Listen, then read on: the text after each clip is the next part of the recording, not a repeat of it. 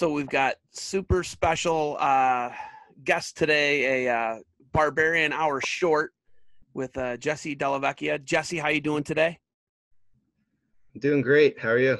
I'm good, man. Uh, so Jesse is the assistant coach, was the assistant coach at Army West Point this past year in his first year of coaching, and now Jesse, you recently moved to Long Island University Post. Is that correct? Yep. Yeah, All started right. about two months ago, and yeah, Okay. How long is LIU Post? How far is LIU Post from where your hometown is? it's about 40 minutes.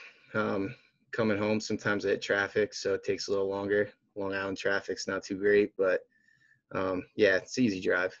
We call it. We're, we're people I talk to. They call it the Strong Island. Right? Is that right? Did I get that right? Yeah, yeah. I went to a concert at the Nassau Coliseum. Uh, I went to Roger Waters in 2017 with Brendan Buckley, the head coach or the head. Uh, he's the executive director of Beat the Streets, and it was one of the best concerts I've ever been to.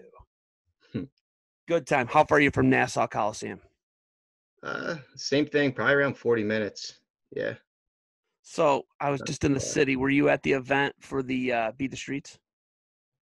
No, I actually I really wanted to go, but uh kind of just been uh training for this match, so um yeah, I've been doing maybe a little too much. Just I got a lot of stuff going on right now between coaching, clinics, privates, training on my own. So I got a lot going on right now. So I didn't really have too too much time or energy, but um I watched from home, so yeah. Okay, so you were a national finalist last year for the Rider Broncs. Nick Bedelyon's a Kent State Golden Flash, so shout out to him. He's the one who gave me your contact info. Hangey's a good dude. I like all those guys over there. Easy to deal with. Uh, but they, uh, Coach Wolf too, right? Wolf's there, isn't he? Yep. But they, that you were a national finalist. Are you the first national NCAA finalist in the history of Rider program? I am. We had a bunch of dudes in the semis, um, some really close uh, finalists before then, but uh, no one ever like won that semi match. A lot of close ones just kind of couldn't break it, uh, break the semis. So yeah, it was the first one. And you beat this year's champ in the semis. You beat Ryan Deakin in the semis, right? In overtime. Uh, I pinned him. You pin, no, you pinned him. That's right, because it was right next to the coaching chairs. And I remember Bedelyon like smacked you, or you smacked who smacked who? I forget. Yeah, Bedelyon smacked me.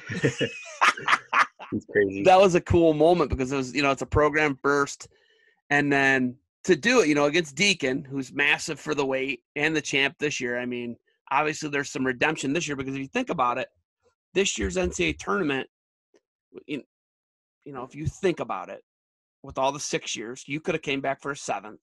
You had some eight. You had an eight-year guy, an Olympian, right? It was the toughest on paper, probably the toughest NCAA tournament in history, arguably, right? Yeah, I mean, pretty much no one uh, graduated besides uh, a few guys that didn't want to come back. So it was probably, yeah, if not the, the toughest tournament ever, NCAA tournament. And then, so you were in a sixth year last year. You had a seventh year. Why didn't you come back for the seventh year this year? Um, so pretty much, I mean, I, I, I loved it, but uh, I mean, after my fifth year, like I pretty much said, no matter what, I'm not coming back. And then that year, COVID canceled it.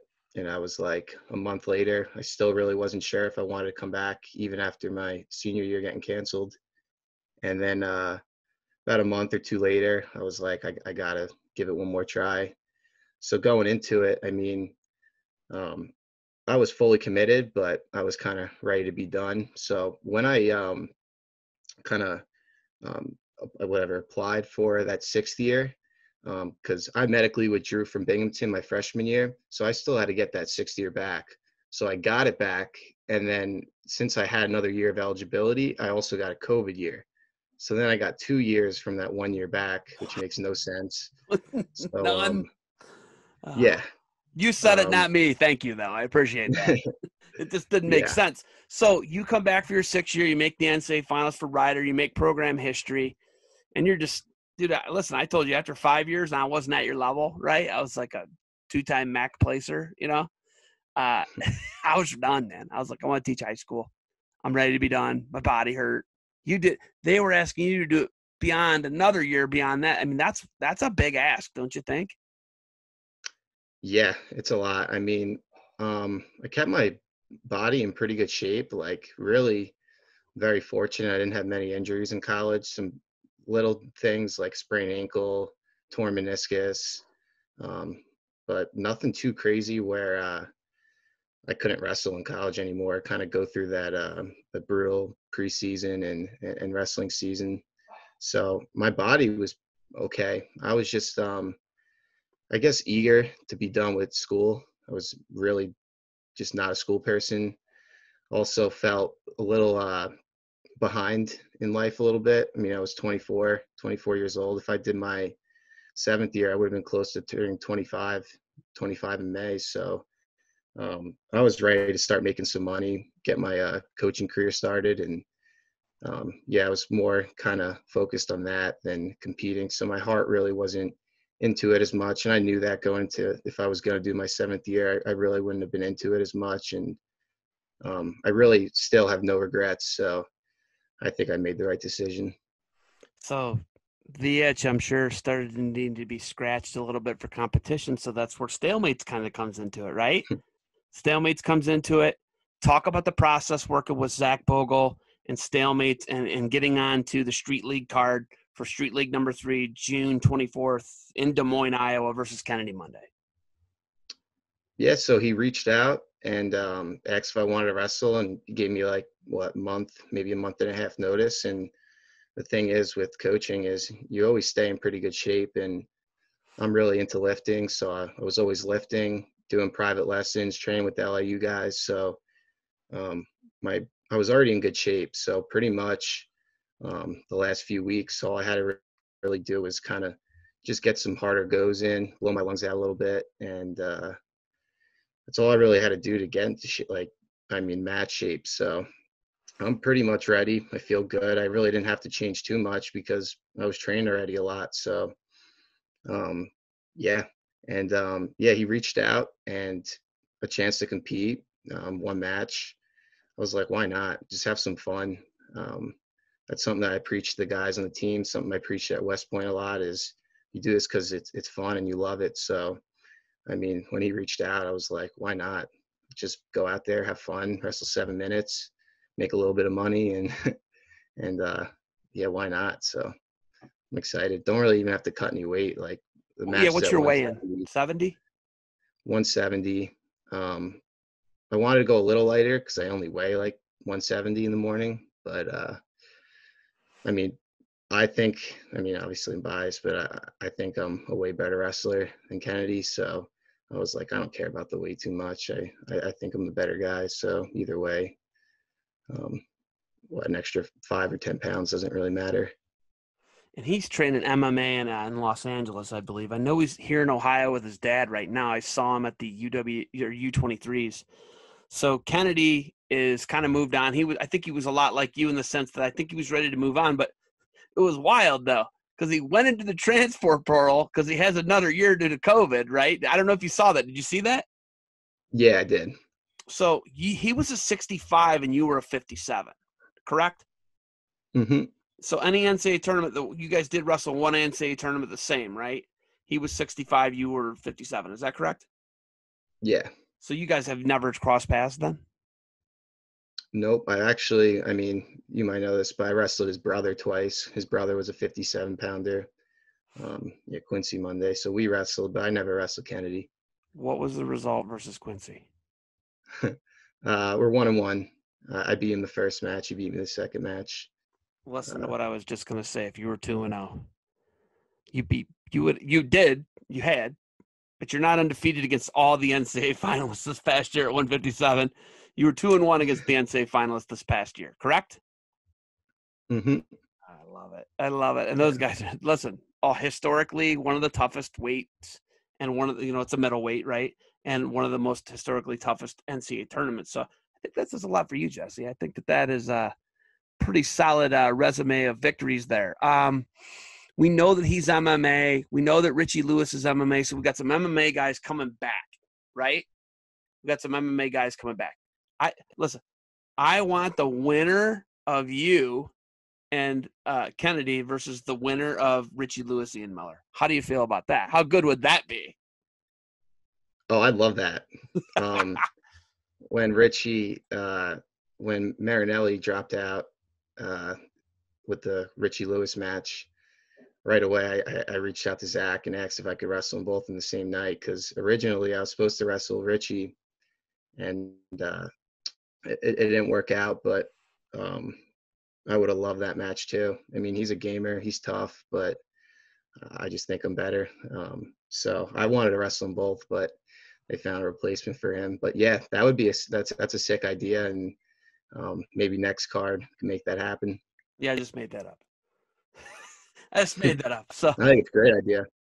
just made that up, but just talking. I got to talk to Zach today on the phone, and you know, I like Zach. Zach's a good dude, and obviously what what Stalemates is doing, and I like the opportunity. I like what the cards are. It's um, it's really cool to bring in. You got like a Colton McCrystal who's coming back. You got Grant Leeth who's coming back. You got all these other guys who are coming back, and I'm an Ohio guy, so I'm biased. We're gonna have Sam White. He's a Massillon Perry guy. He's coming back as assistant coach at Mount Union. We got Moises Guillen. He's a multiple time national qualifier for Ohio U. So I'm kind of excited to just see those guys in the card, and then they're just going up and down the card. You know, there's guys who've been out of it for five, ten years, and Zach talked about how he likes to bring. You know, there's a lot of guys who wrestled in different eras are now going to wrestle. I like that. I think that's cool. Obviously, you and Kennedy are the same era, just different weights. But um, it is a five minute match. So I know you're wrestling seven minute matches. It's only a five minute match. You know that, right? No, no, it's seven minutes. Yours is yours is seven. Yeah, so I mean that's I, I think that's why um, me and Richie didn't end up didn't end up wrestling is because he wanted to wrestle one two two. Got it. And uh, I was like, let's do a like a college match, like let's do three two two. Um, and I'm not sure if that's why he turned it down or not, but um, same thing with Kennedy Heath. I think he wanted a two two two, and um, I was like, let's do a three two two match. Like I mean, seven minutes of wrestling. It's, I mean, that's it's a lot. It's tiring, but yeah, real tiring. Um, I'm, I'm fine all the way out to Iowa. I don't want to wrestle five minutes. I want to wrestle a whole match. I think Ian's match versus uh, uh, Richie's match is a five minute match, is what my understanding was on the phone this morning. So you, yeah, that probably was there. Probably was a you guys couldn't meet, right? It's just how it goes. But um, and Richie's training MMA. Where does Richie train MMA? Does he train over on the East Coast by you guys? I don't know. I don't really know he's training either. I haven't because he's a Jersey guy though. Yeah. He's a Jersey guy and he went to Iowa Central, was a JUCO national champ, he's a world champ. So yep. and then Kennedy is from Stillwater. He went to Stillwater High School and then UNC. Ian's Ohio guy, Kent State guy. So I'm excited. I'm just excited to see all the different matchups. And then Colton McCrystal versus Leeth's going to be a good matchup. So anything else up and down the lineup besides you and Kennedy that excites you? Um, really just the main event. I'm excited to see that. Grant Leeth, he's a gamer too. We've talked in the past. He's he's a good dude, so I'm excited to watch him wrestle too. But I mean, like I said, I have I have a lot going on right now, or it feels like a lot for me. So um, I'm kind of just been focusing on myself a little bit, just kind of getting these LIU guys ready, training four or five times a week with them, and then um, yeah, kind of training harder for myself right now, just getting some. I did a a preseason workout that we used to do at Rider the other day, and that was that was tough. It was uh, what's it called? Just bringing back memories of training hard again and, and going through uh, those tough practices. But it's good. I'm uh, I feel ready. Is LIU the Sharks? Is that correct? Yeah, yeah. And they're like a baby blue that's, color, right? That's a sick, kind of a sick colorway, yeah. Dude, that's sick. I want, yeah, I want one of those shirts. Listen to me. I'm gonna be in Des Moines. Bring a Fat Man Double X if you can. Can you? I can make that happen. Yeah. Yes. Okay. Yeah. EIWA, right? You guys are gonna qualify out of the EIWA. Is that correct? Mm-hmm. So you qualified at Rider out of the MAC. You're MAC champ. Were you were you the four seed the year that they canceled due to COVID? Yeah. Yeah, I really liked where you were in the bracket. I'm a MAC guy, right? I'm a MAC homer. I'm a Kent State guy, so I love when MAC guys make it happen like you made it happen. I, you were the kind of the story of the tournament for me. And then the MAC went over this year. You know that, right? They didn't have an All American. Wow. Yeah. That's I, I wild. that. Yeah. That's wild. I mean, Missouri left. Yeah. So uh, that was a big one because, I mean, I think my senior year, they had nine guys in the finals. So, I mean, Oh they were pretty much the, the, uh, obviously clearly the best team in the, in the conference. So, I mean, that, that hurt the conference a little bit, but I mean, Central Michigan, you had that heavyweight. Um, had a bunch of other good guys, and then some of the rider boys are tough that could definitely make it happen. So I think next year um, they'll have better results. LIU post can qualify next year, right? You guys are you're able to qualify, right? Yeah, So, what's the goals for you as a coach, a young coach coming in, coming back home? You know, you're from Long Island. It's a it's a program that added Division One wrestling. I mean, what three years ago? yeah, three years Three- ago. Three years ago. Talk about you know what being back in Long Island means to you and the pride of Long Island, dude. When I meet people from Long Island, there's a theory that the sun's the center of the earth. It's called the heliocentric theory. I got the strong island theory that that's the center of the universe when I talk to Long Island people, right? Um, you know, there's a lot of great people who've been from Long Island, who uh, obviously in Division One wrestling. Tom Ryan's Long Island, right? Yep. Are the Banach brothers Long Island? Did I get that right? I don't think so. They're not Long Island. Who's Long Island? Somebody from Iowa wrestled as Long Island. I'm like, how did that guy go to Iowa? I got to see if the Banachs Uh, are from Iowa or from uh, Long Island. I think they are, dude. I, oh, I don't know. If I- Got Kerry McCoy. Kerry McCoy, Kerry yeah. McCoy's from Long Island. Um, got Jesse Jantzen, another big one. Jeez, oh, Pete. Um, definitely missing some some guys, but yeah, I mean, a lot of tough wrestlers come out of Long Island. Strong Island, right? Hold on. yeah, I got. Yeah, I should be calling it more, calling calling Strong Island more. Strong Island. Hold on. But, They uh, they are from Port Jervis, New York. They moved to Port Jervis, New York, where the Oh. boys all became involved. Is that is that Long Island? No, no, Where's Port Jervis? somewhere upstate. That's upstate. Okay. I don't know what section. Oh, they're New York though. At least I got that they were New York. Hmm. I thought they were Strong Island. Dang it. I missed that. But Tom Ryan's Long Island, right? Kerry McCoy's Long Island. Um dude, there's a lot more. Um, where is Hofstra? Um, I'm not sure what town, but it's uh, it's in Nassau. So it's So technically Long two, Island uh. Yeah, there's two counties on Long Island, Nassau and Suffolk. They're Okay. Nassau County. Okay. And then you guys do the they do the uh you wrestle in your state final and you wear your section singlet, don't you in New York? Yeah, You, you, like can that? wear your high school singlet, but I, I like the the Section 11 singlet, which is Suffolk County. Um, that singlet's cool. I mean, it's something that growing up you always want to wear going into the state tournament. So, I mean, I think anyone from Suffolk County picks that over their their high school singlet. Is that the like uh is that almost like a Penn State looking singlet? A white Penn State Yeah. singlet? Exactly. Yeah. Oh, oh, oh. Green Toe is from Strong Island. I, I don't know how I didn't miss. I missed Green Toe. Green Toe is from Strong Island. Yeah. Uh, I'm not sure. Dylan Palacio. Oh, yeah, yeah. he's yeah, Green Toe. Have you ever seen his toes? I think so. They're disgusting. Yeah, I know he has some gross looking feet. He's where's he from? Long Island. Long Beach, He's from Long Beach. It's, uh, okay. yeah, oh, Nassau Teemer. Teemer's Long Island, isn't he? Ja'Cory? and he's from Long Beach as well. Oh, yeah. okay. So they're same high school. Yep. Oh man, you guys got some. You got some characters out of Long Island, dude. Oh my yeah, god. Yeah, Vito Arujau. He's from Long Island too. Wait, who was the last one? Vito Arujau. Oh, Vito's from Long Island via via Yeah. Russia Yeah. because Yeah. dad dad is from like Dagestan area, yeah. Azerbaijan, Dagestan, I believe, somewhere around in that area. I Something like that. Yeah. Yeah. Is his club actually in Long Island? Is Vougar's club in Long Island? Yeah. Oh my god, dude, you got some freaking scrapping going on out there. It is. Oh yeah. The fur flies in, in Long Island, yeah. The fur flies, yeah. I mean, people it gets heated. You go to a dual meet between Long Island and Any other? Like, what are the two best high schools there? Um, in my time, I mean, usually Wantagh is pretty dominant. They're um, a Section 8 team, so Nassau County. Um, Long Beach is tough there from there too. Oh, Gillespie um, brothers. Gillespie brothers are from Wantagh, aren't they? Yep. Jesus. So is Tom dude, Ryan. dude, dude, we're gonna keep going, and we're just gonna keep going because then, um, isn't uh, uh Weidman from there? I think Weidman's from Wantagh as well. Yeah, Oh my he's God! from Long dude. Island. Wow. I could be wrong on that though. But he's Long I'm Island, I believe. Definitely Long Island. 'Cause he's Uh, I don't know if Hofstra. he's or not. Oh man, dude, that's wild. Frickin' Strong Island, Strong Island for a reason. Hmm.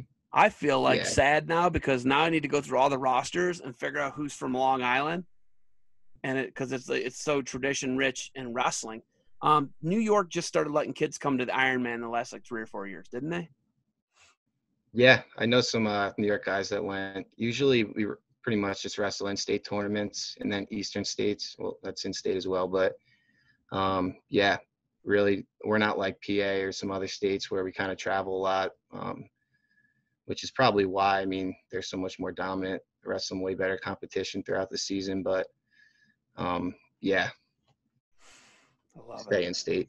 I love it. I gotta go over to the Strong Island again for a concert and come check you guys out. But get me a shirt in at Stalemate Street League Three.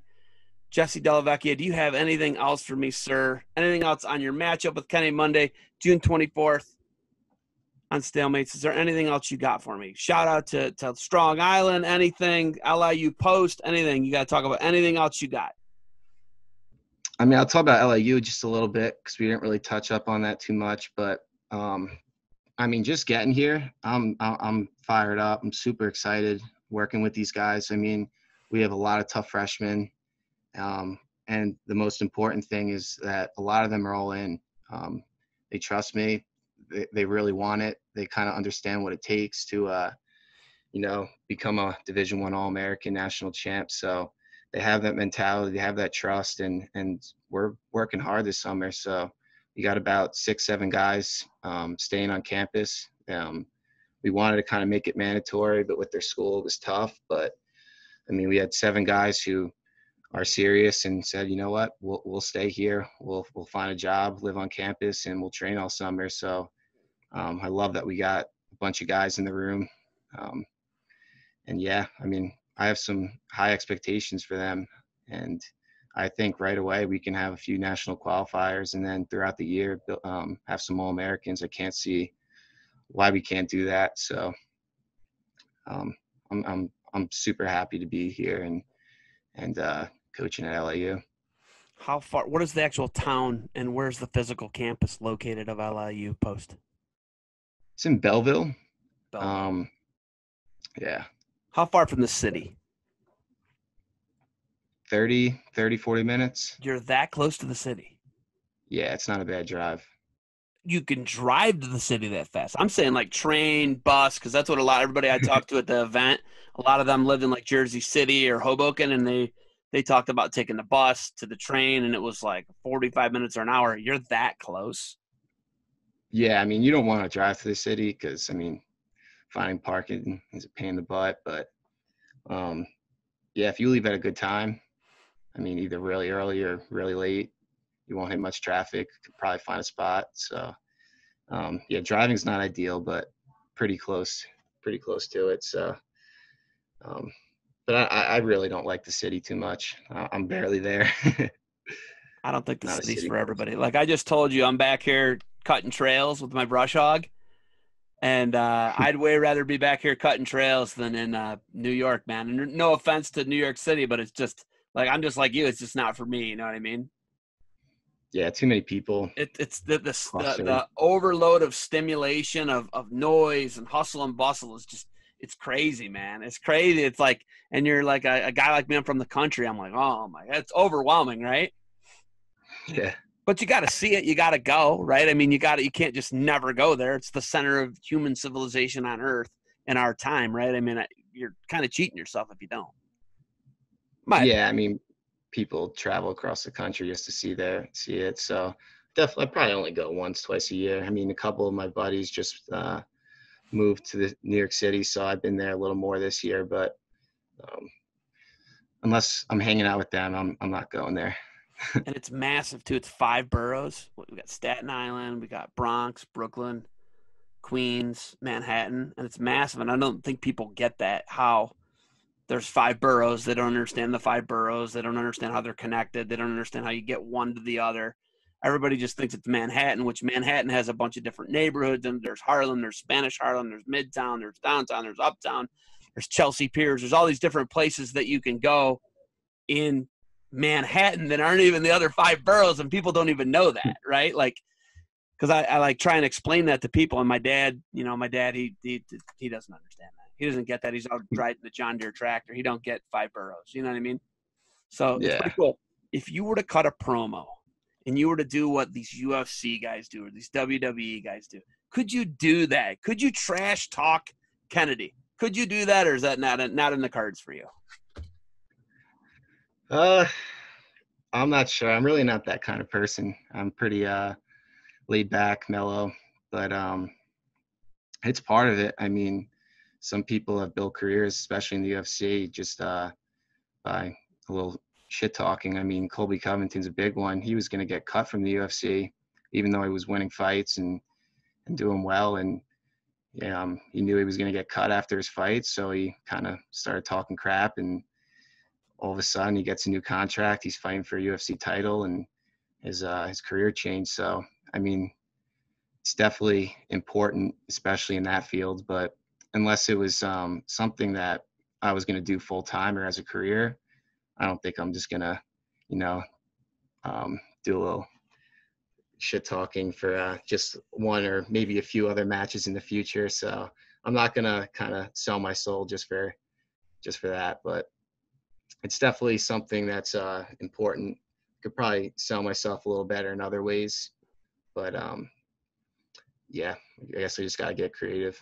What about just good hard wrestling and just smashing them? Yeah, that works as well. and that was a plan. So. yeah, because I asked Ian, I was like, "Hey, you got anything, any trash talked about Richie?" And he's like, "Yeah, I, that's not my thing. I, will do that. Yeah. That's not my thing." And he's like, "Yeah, I'm a college coach still. I still got a job. I'm not trying to get in the you know the get in the weeds with somebody. You know, you, you get you get in the weeds and you get dirty, right? You get dirty down in the mud with somebody, and you get out in the weeds, and sometimes your your employer don't like that, right? Yeah, because that's the point. I want to put this out as, as many places as I can, and I want, you know what I mean. That's what I want I'm, as a promoter, right? That's what I do. So, but dude, I'll take it. I'll take it. Ian, you you and Ian are on the same page, and uh no trash talk. Maybe I can get Kennedy and Richie to to trash talk you too. So we'll see. Anything else for me, boss? Nah, that's really about it. I mean, I mean, I'm excited to compete, and what it's 11 days now, so kind of just getting ready for that, and yeah, I'm pumped, ready to go. All right, Jesse Dellevecchia versus Kennedy Monday on one of the co-main event. I'd like to call it the co-main event. I think that's the co-main event. Let's just call it the co-main event alongside Richie Lewis versus Ian Miller. June 24th, Des Moines, Iowa on Stalemates. Check it out. Check out barbarianapparel.com, the Barbarian Hour. Jesse, thank you for the time and good luck. Stick around.